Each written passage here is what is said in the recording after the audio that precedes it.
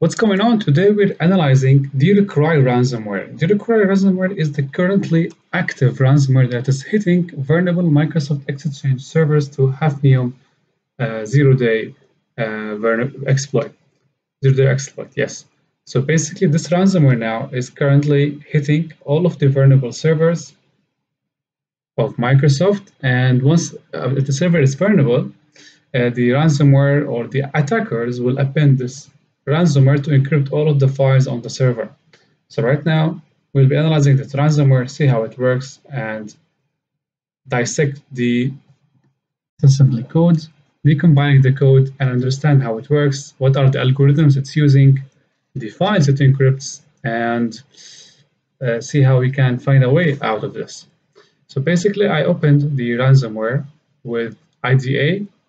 I also opened the ransomware with uh, Ghidra here so I have two views. In case I didn't find something in one, I would jump right to the next one. So basically, the first thing I would take a look at is the strings. So when we take a look at the strings, we see that there is a pattern of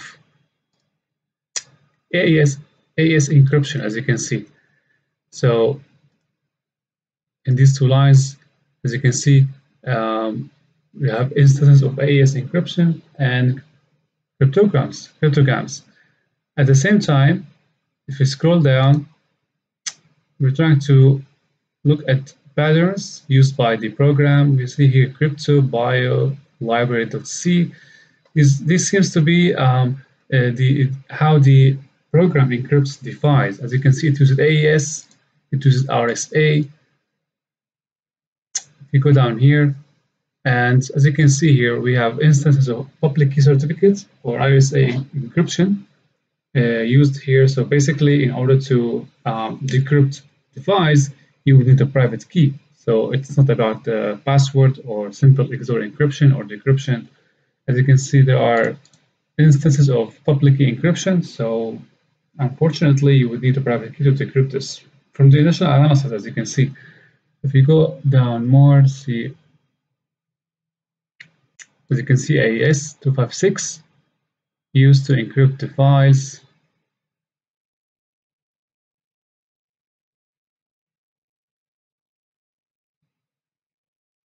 Okay, let's take a look now at the imports.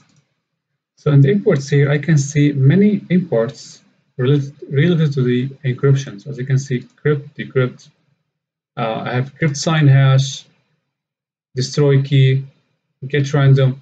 All of these imports are used in ransomwares. They are witnessed when uh, ransomware is analyzed. You will see these imports more common. And as you can see, get certificate. That's what because the ransomware uses public key encryption. That's why it needs these imports. Let's go down, see what, we, as you can see, read file.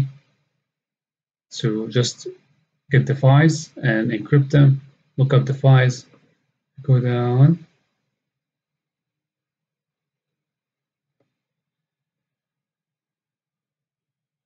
Yes, actually lots of imports used more often in ransomware. Okay, if we take a look at the exports, it's only one. Let's go now to the hex view here, see what we can find from the hex view. Uh, not too much relatable here. Think about something, let's go down, up. Okay. Okay. Let's jump now to the disassembly code. So basically, this is the um, how it starts. As you can see, the program. This is the SHA hash, MD5 hash, and it's portable executable. The file name where it's where it is stored, and if you go down, you see the start of the uh, binary, how it works. So basically, the first thing it does, guys, as you can see, it begins RSA public key encryption. And for every encryption process, there's a function used for that. For example, if I switch now to Ghidra and I look up here,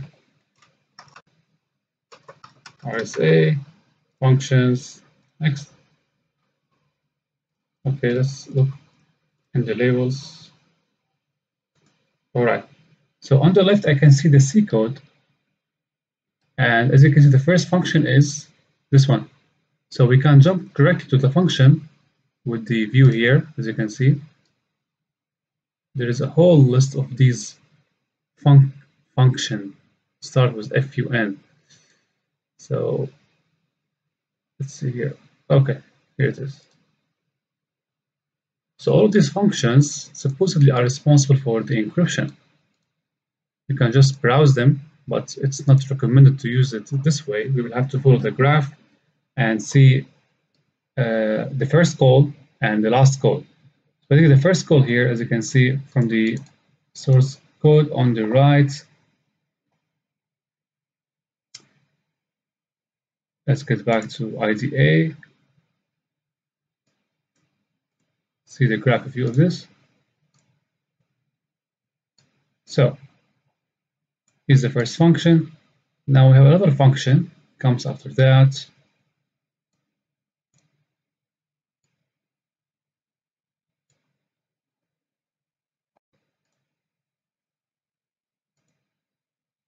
All right. So after that, supposed to find the file extensions which it encrypts actually. So if we search for something like, uh, I don't know,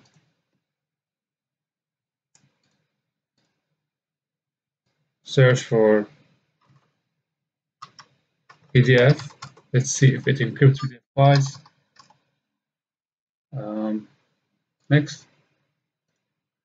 So suppose these are the file extensions it encrypts TIF, TIFF, PDF, Excel files, and of course many more. And the function responsible for that is this one. So it takes many variables, many arguments to encrypt all kinds of files, all kinds of extensions.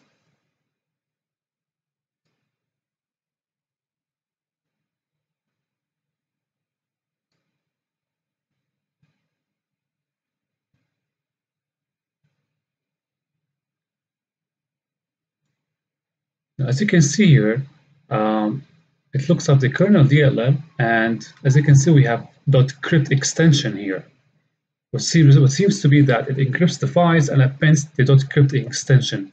As you can see in the instruction here, if you look at the right, at the C code, uh, let's see here.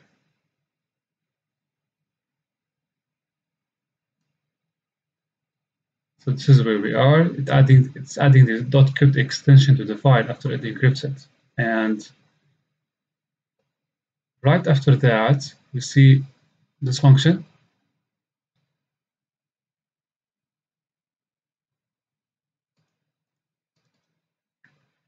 And as you can see, it writes dear cry as an as an extension to the name dear cry. Yes. So here, choose fwrite to type dcry to every file it encrypts. So it's adding the .crypt extension and writes dcry to the file.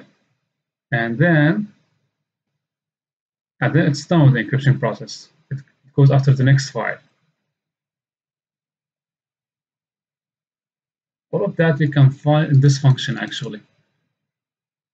This is the function 06ff0 that's doing the encryption process with the assistance of this one, lab. So we have labs, all of these functions um, intersect the same process, which is adding or encrypting the file, adding the .crypt extension and the dcry to the name.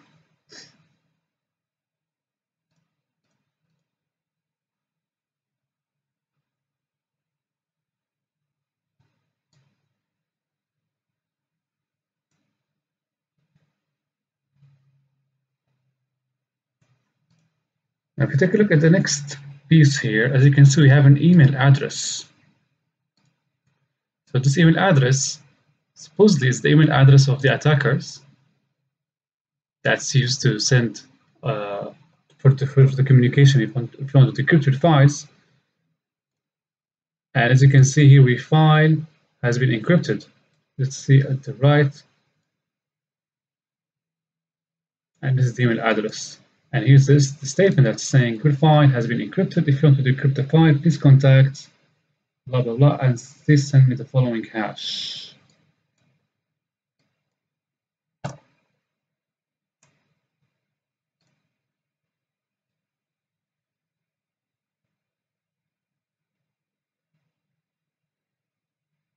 And I said earlier, it's using the public key, the public key encryption RSA, so there is no way to decrypt the files on your own. You have to find the private key or just uh, conclude it. And this is the function responsible for that. Again, here we see the same stuff, encrypting the files. As you can see, it, it has used AES for the encryption and with different function every time. That's why we have a bunch of functions here. Oh my god, look how many functions. All for encrypting all kind of extensions with different, not different algorithms, it's using the RSA and AES at the same time.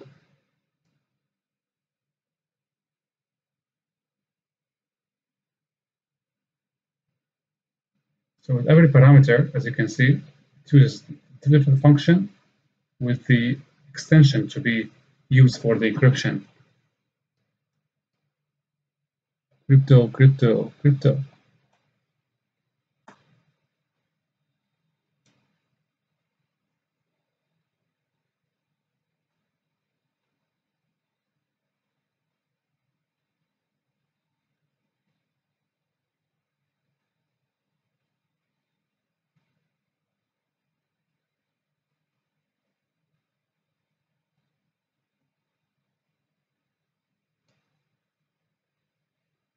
Now to confirm the results, I have just uploaded the file to Hybrid Analysis to see what they have to say about this.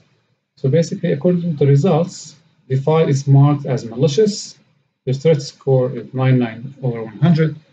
AV detection otherwise is 21%. Now, if you upload that to VirusTotal,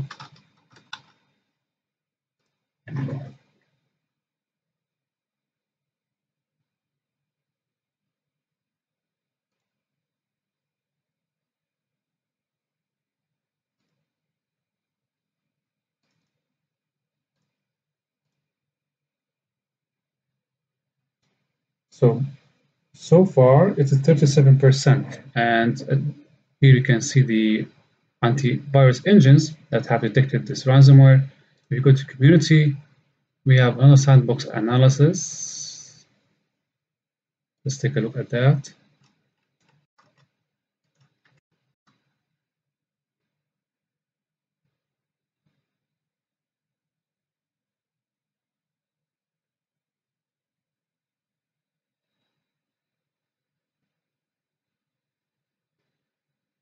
File name, the uh, signatures, detection.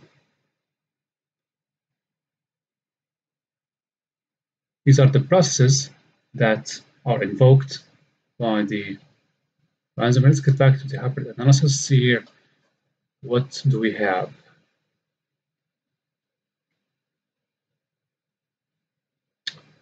Okay, so as you can see here, as we said earlier at the analysis, the analysis extracted file with a known ransomware suffix. It's using the crypt all the time to encrypt the files. And of course, if you don't decrypt uh, or if you don't pay, it marks some files for deletion. Of course, these, these results will be very clear when you do the dynamic analysis, of course, when you open it, but you're not gonna open it, of course.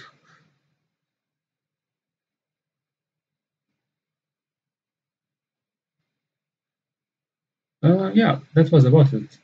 It's very brief analysis just to give you a heads up about this ransomware and now how it is used in hitting all of the vulnerable Microsoft Exchange servers to Hafnium exploit. Um, so yes, so how to avoid this? As you can see, the ransomware has been detected by a good deal of antiviruses. So if you have one of these antiviruses, you're safe if you have one of these, you're not. Um, now, of course, how, how this ransomware gets to the workstations and endpoints. So basically, if your Microsoft Exchange server is vulnerable to the Hafnium hack, then most probably the attackers will drop this piece of ransomware at your computer at your server. So be aware of this. Okay then, that was about today and see you in the next video.